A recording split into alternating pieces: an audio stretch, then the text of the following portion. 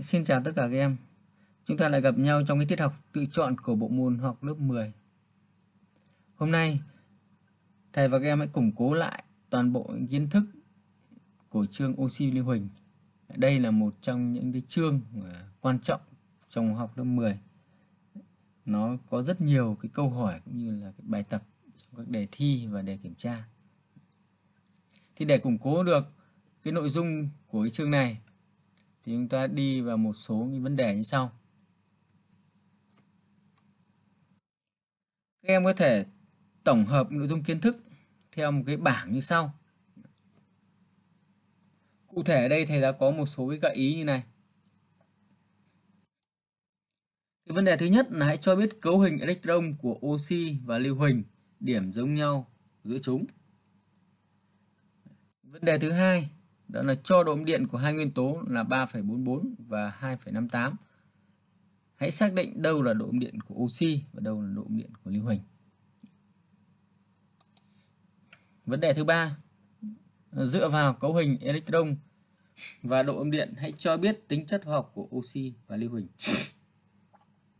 Vấn đề thứ tư, hãy so sánh tính oxy hóa của oxy và lưu huỳnh thì giao dành cho các em trong khoảng 5 phút để chúng ta hoàn thành cái nội dung kiến thức này vào bảng.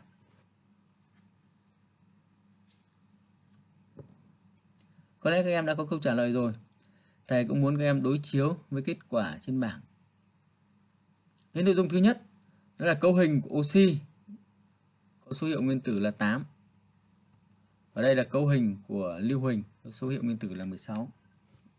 Thì nhìn vào cấu hình của hai nguyên tố này chúng ta có cái nhận xét chung đó là hai nguyên tố này đều có 6 electron ở lớp ngoài cùng. Mục thứ hai là độ điện. Thì trong các bài học ở trên lớp thì chúng ta đã biết là oxy có độ điện lớn. Do vậy, chúng ta lựa chọn cái độ điện của oxy ở đây là 3,44 và độ điện của lưu huỳnh là 2,58. Hiển nhiên là độ điện của oxy lớn hơn lưu huỳnh. Về tính chất hóa học thì đối với oxy thì chủ yếu là tính oxy hóa và không có tính khử. Còn lưu huỳnh thì có tính khử và có tính oxy hóa. Chúng ta thể nhận xét chung là cả hai nguyên tố này đều có tính oxy hóa. Đấy, tuy nhiên là lưu huỳnh thì có thêm cái, cái tính khử Để so sánh cái tính oxy hóa của oxy và lưu huỳnh chúng ta lấy trực tiếp luôn một cái phản ứng giữa lưu huỳnh và oxy để tạo thành lưu huỳnh dioxit. Thì trong phản ứng này chúng ta thể xác định được số oxy hóa của lưu huỳnh trước phản ứng là 0, sau phản ứng là cộng 4. Như vậy trong phản ứng này chúng ta dễ dàng nhìn thấy oxy đóng vai trò là chất oxy hóa và lưu huỳnh đóng vai trò là chất khử. Như vậy chúng ta thể so sánh được ngay là oxy có tính oxy hóa mạnh hơn là lưu huỳnh. Thì đây là cái phần ờ, đơn chất giữa oxy và lưu huỳnh chúng ta để so sánh theo cái bảng như thế này. Như ở chương này đang có một nguyên tố nữa là cái dạng thụ hình của oxy, đó chính là ozone. Tìm hiểu oxy và ozone thông qua cái bảng như sau. Thế chúng ta cũng có thể kẻ, kẻ bảng để so sánh cái điểm giống và những cái tính chất khác nhau oxy và ozone. Thời gian dành cho game khoảng 2 phút. 2 phút cho game bắt đầu. Rồi các em đã có câu trả lời. Thầy muốn các em là hãy quan sát những cái bảng thống kê như sau. Oxy và ozone là hai dạng thù hình được tạo lên từ nguyên tố là oxy nên cái điểm giống nhau của nó, ta dễ dàng nhận thấy, đó là cả hai đều có tính oxy hóa. Tuy nhiên là tính oxy hóa của ozone thì mạnh hơn của oxy. Điều này được giải thích bằng một số cái phản ứng như sau. Ví dụ với oxy thì không tác dụng với bạc, nhưng với ozone thì có phản ứng để tạo thành bạc oxit và giải phóng oxy. Hoặc là có thể lấy một cái phản ứng khác nữa đó là oxy thì không tác dụng với dung dịch cani yếu tua nhưng với ozone thì có phản ứng để tạo ra iốt. Cái này dễ dàng chúng ta có thể so sánh được ngay.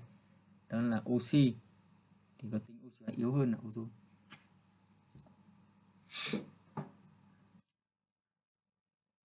À, cũng lưu ý là dựa vào tính chất này mà người ta có thể dùng cái dung dịch caniốt và hồ tinh bột để nhận biết ra khí ozone. Và đó là cái phần à, đơn chất trong chương oxy và lưu huỳnh. Vậy thầy còn muốn các em củng cố thêm một chút nữa về những cái hợp chất của lưu huỳnh. Những hợp chất của lưu huỳnh chúng ta đang tìm hiểu đó là hydrosulfur lưu huỳnh dioxit, lưu huỳnh terdioxit axit sulfuric và muối sunfat nên thầy cũng muốn các em cũng tổng hợp cái nội dung này qua một cái bảng với những cái nội dung như sau. Cho biết các tính chất như tính khử, tính oxy hóa, tính háo nước, tính axit, tính chất của một oxit axit. Và hãy chọn những tính chất của mỗi chất để điền vào bảng và có giải thích. Đấy, thì ông cũng yêu cầu các em làm cái công việc này trong vòng 5 phút 5 phút bắt đầu. Có thể các em đã có câu trả lời rồi. Thầy cũng muốn các em hãy đối chiếu cái kết quả của mình với bảng sau. Thứ nhất là chúng ta xét đối với hydrosulfur thì đây là một cái dung dịch axit yếu cụ thể thì nó có khả năng phản ứng với dung dịch bazơ ngoài tính chất axit ra, thì hydrosulfur này còn thể hiện tính khử. Có thể, thì nó có khả năng tác dụng với oxy để tạo ra ni huỳnh và nước, hoặc là có thể tác dụng với ni huỳnh dioxide để tạo ra ni huỳnh và nước.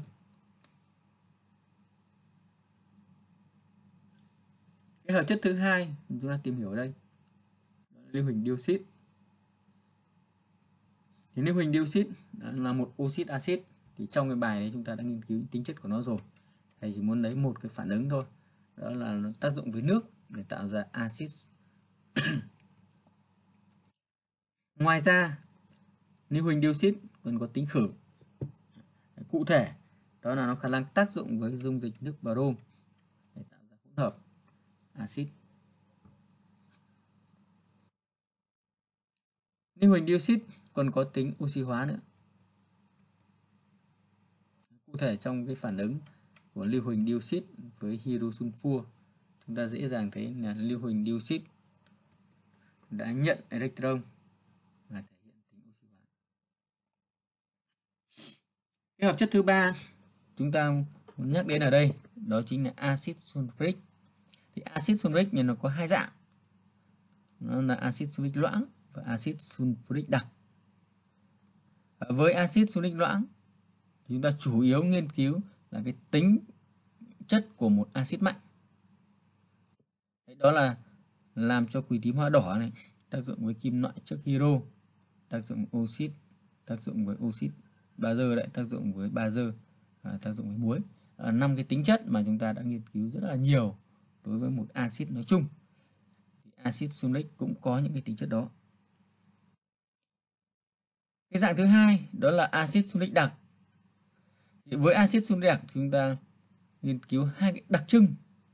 Đó là cái tính oxy hóa mạnh và tính háo nước. Tính háo nước. Cái bài axit này chúng ta tìm hiểu rồi.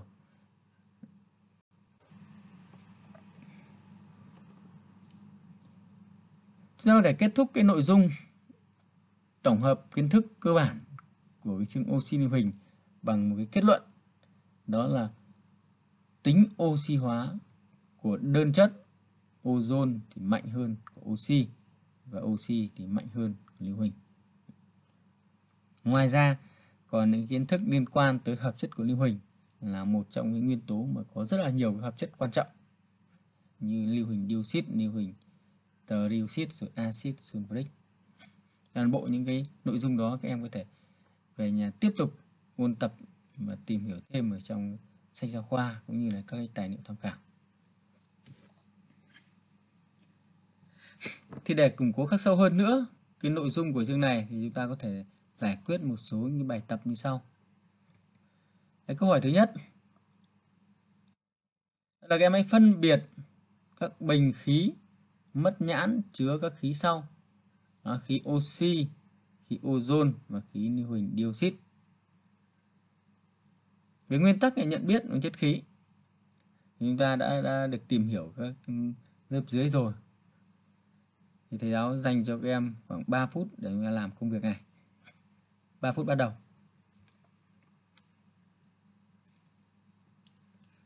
Rồi các em có thể đối chiếu với đáp án mà thầy đưa ra. Để nhận biết được ba cái khí ở trong ba cái lọ riêng biệt này chúng ta có thể nhận biết theo nhiều cách. Đấy, tuy nhiên thầy giáo đưa ra một cái gợi ý bằng một cách nhận biết đơn giản. Đó đầu tiên chúng ta sử dụng cái dung dịch nước brom đã cho ba khí này đi qua dung dịch nước brom chúng ta sẽ thấy xuất hiện những cái hiện tượng quan sát được.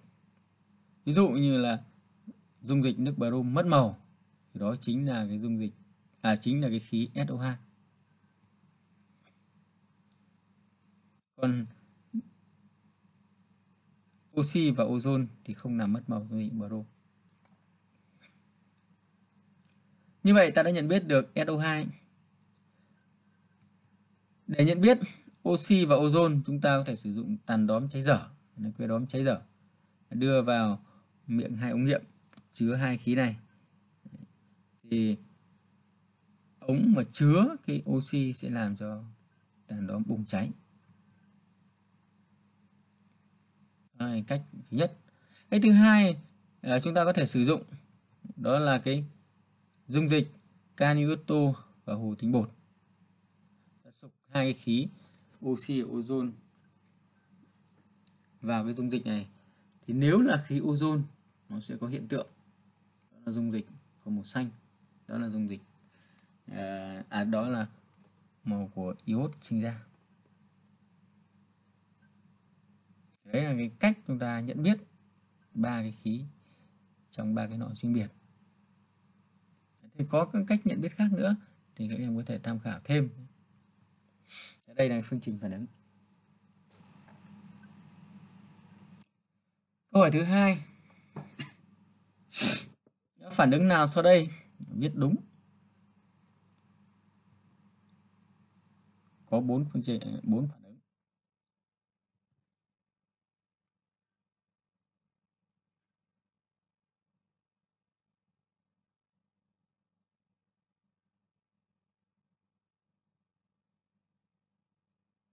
ra soát một lượt chúng ta sẽ dễ dàng nhận thấy.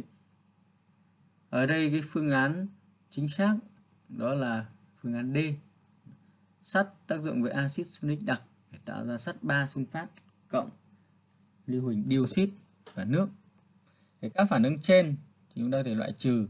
Ví dụ như A này không tác dụng với với với ờ, à, nhôm không tác dụng với axit sulfuric đặc nguội rồi.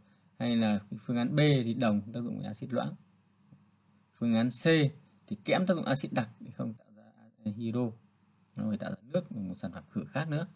Do vậy cái phương án chính xác ở đây là phương án D.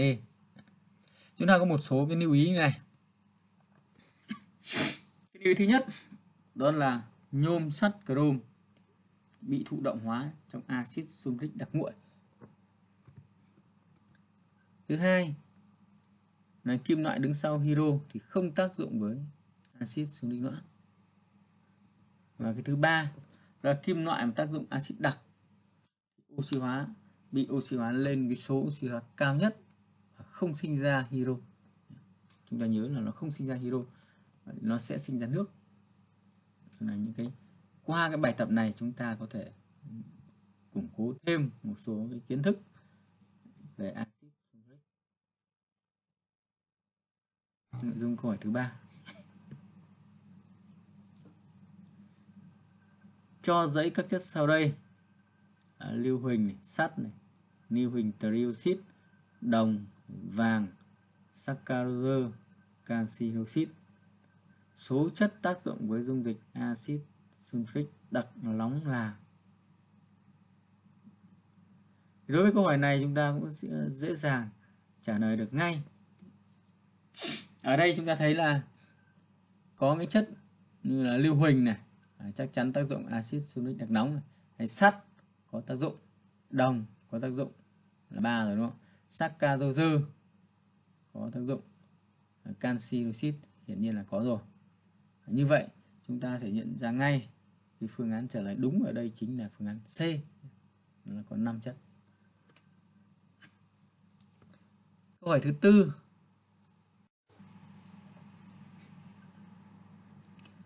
Cho các chất sau đây.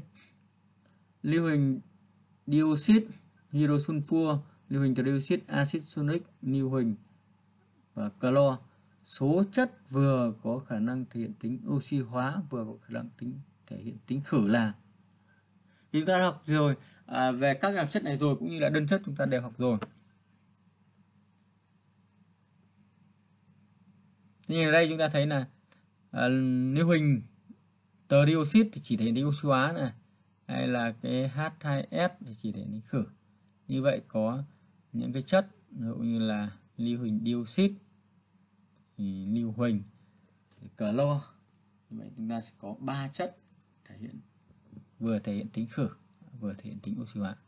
Phương án trả lời chính xác ở đây chính là phương án C. là chuyển uh, nhanh sang câu hỏi số 5 cho các phản ứng hóa học sau. Đấy, có 5 cái phản ứng A, B, C, D, E. Và yêu cầu ta hỏi chúng ta đó là lưu câu hỏi thứ nhất đó là lưu huỳnh dioxide SO2 là chất oxy hóa trong các phản ứng hóa học nào? Có 3 phương án. Đó là phương án A A lớn đó, gồm có A, D, E phương án B lớn gồm có B và C phương án C lớn chỉ có phản ứng D Thế ý là các em có thể xác định số siêu hóa của các chất trước và sau phản ứng. Cụ thể đây nó xét xác định số siêu hóa của lưu huỳnh dioxit thôi. Thế các em dễ dàng thấy ngay cái phương án trả lời ở đây. Khi chúng ta xác định xong số siêu hóa thì phương án trả lời chính xác là phương án C. Đó là lưu huỳnh từ cộng 4 đã chuyển lên số xá nhất là lưu huỳnh cộng 6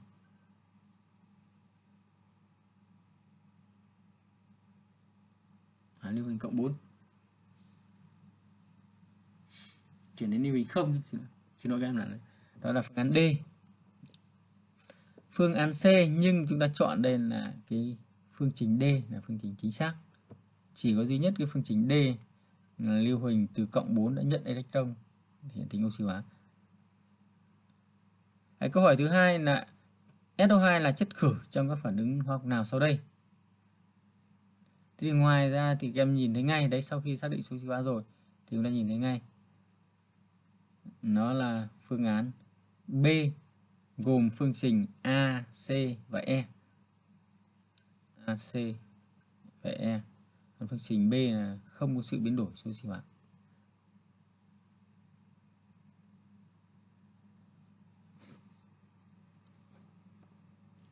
với câu hỏi này thì chúng ta chỉ cần xác định số siêu hóa của lưu huỳnh trong cái lưu huỳnh dioxide thôi thì chúng ta có thể xác định được ngay cái các phương án ở trong hai câu rồi các em chuyển sang câu hỏi số 6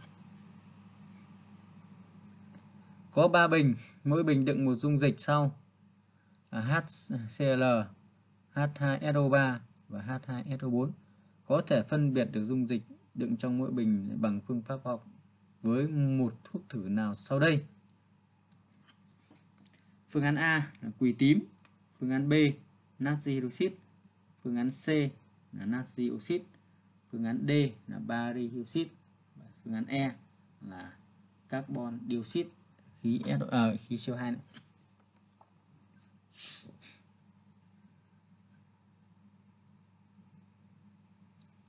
Thì với câu hỏi này chúng ta có thể ờ, dùng phương pháp loại trừ. Ví dụ như là quỳ tím thì không thể nhận biết được với đây là ba axit rồi đúng không nhỉ? Ba axit thì không thể dùng quỳ tím được rồi. Hay là natri hydroxit thì đây là một cái bazơ Ờ, tan và không tạo kết tủa với bất cứ một cái axit nào. Như vậy B này cũng không thể dùng để nhận biết được ra ba cái axit. Ờ, tương tự như thế, phương án C là natri oxit cũng giống như là natri oxit thôi.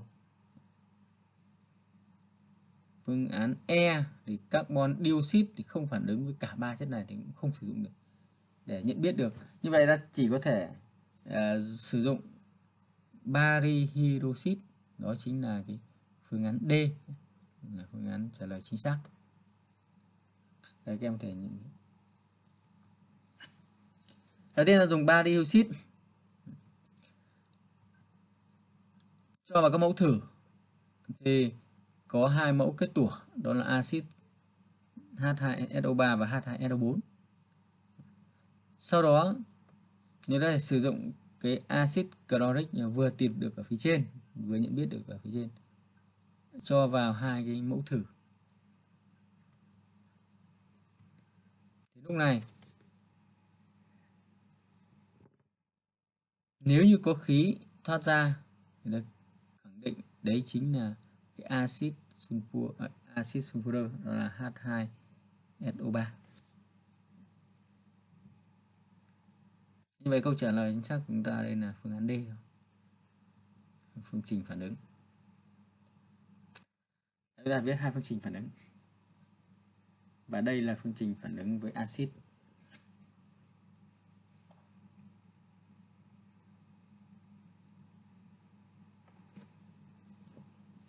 Các em thể ghi nhanh vào vở của mình. Chúng ta chuyển sang câu hỏi số 7 có thể tồn tại đồng thời những chất sau đây trong bình chứa được không? A nhỏ là khí hydrosulfur và khí lưu huỳnh dioxide. B là khí oxy và khí clo. C là khí hydro iotua và khí clo. Thế đó là hướng dẫn là cái chất mà chứa cùng trong một cái cái bình ấy, thì nó không phản ứng với nhau. Nó phải không phản ứng với nhau thì nó mới cùng tồn tại trong cái bình được. A đây là không tồn tại. Chúng ta thể trả lời ngay là vì hydrosulfur tác dụng với lưu huỳnh dioxide. Phương án B thì có thể tồn tại được vì clo và oxy không phản ứng trực tiếp với nhau. Phương án C thì cũng không tồn tại vì hydro iotur là chất khí, clo là chất oxy hóa mạnh, là uh, hydro iotur là chất khử. Hai cái cũng phản ứng với nhau.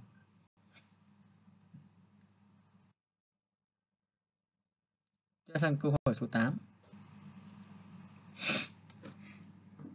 Đây là một câu hỏi bài tập mở phần trước thì giáo ông đã lưu ý các em cách làm bài tập giữa dung dịch bazơ với oxit axit rồi. Hòa tan hoàn toàn 4,48 lít SO2 vào 200 ml dung dịch kani hydroxit nồng độ 1,5 m. A nhỏ là muối nào được sinh ra và B là tìm khối lượng mỗi muối. Thì thầy giáo cho các em trong vòng khoảng 5 phút để thực hiện cái bài tập này. Ở đây có hai câu hỏi. Đầu tiên là xác định sản phẩm sau đó là đi tính khối lượng của hai muối. Thì ở phần trước là thầy giáo đã lưu ý cho các em là khi làm bài tập dạng này rồi, chúng ta biết được số mol của các chất trước phản ứng. Cụ thể ở đây chúng ta thấy là, là tính được cái số mol của lưu huỳnh dioxide và số mol của kali hydroxit chúng ta để xác định cái tỷ lệ số mol này và suy ra sản phẩm xác định sản phẩm. Thời gian làm việc cho các em đã hết. Bây giờ ờ, yêu cầu các em hãy quan sát lên bảng đối chiếu cái kết quả của các em với kết quả của thầy giáo. Chúng ta có thể điều chỉnh. Đầu tiên ta để tính số mol của lưu huỳnh dioxit là bằng 0,2 à, số mol của kani hydroxit là bằng 0,3 như vậy chúng ta sẽ xác định được cái tỷ lệ này. Số mol của kali oxit trên số mol của SO2 bằng 1,5 đây là cái tỷ lệ lớn hơn 1 và nhỏ hơn 2 nhưng nó sẽ nằm trong một cái khoảng lớn 1 nhỏ hơn 2 và ta xác định ngay đó là muối sinh ra là hai muối.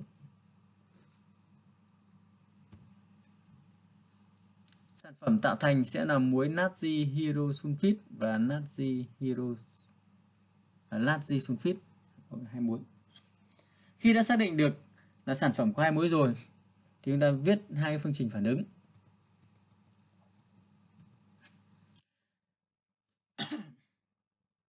Phương trình thứ nhất là tạo ra muối axit và phương trình thứ hai là tạo ra muối trung hòa.